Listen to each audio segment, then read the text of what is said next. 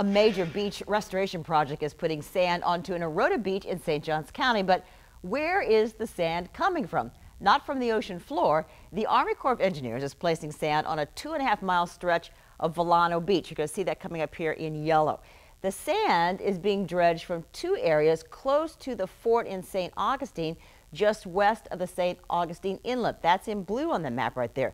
Jessica Clark is on your side explaining who's going to be affected by this dredging project. Just out from downtown St. Augustine, out from the fort is this big guy, a dredger, eight stories tall and longer than the wingspan of a 747. Its job is to stir up the sand at the bottom of the intracoastal waterway, vacuum it up, and send the sand through pipes up onto the coast and restore more than two miles of Vilano Beach. Renourishing this segment of, of highly critically eroded beach. The dredger is pulling up 1.3 million cubic yards of sand. That's enough to fill about 400 Olympic sized swimming pools. The dredging will affect people and animals.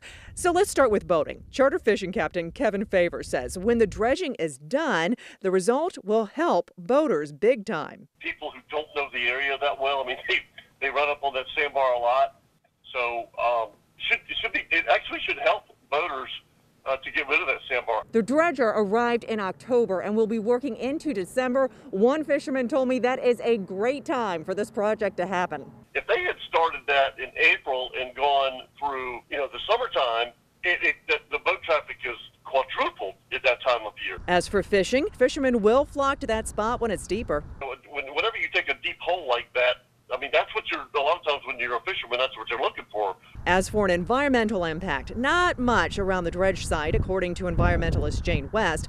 But where the sand is getting pumped to, it's a different story. She says that eroded beach will benefit from a wider coastline. The alternative is to put up a seawall, what we call hard armoring, and that is definitely not a good environmental solution. Just some of the effects from this giant contraption sitting in the water in St. Augustine. Jessica Clark, First Coast News on your side.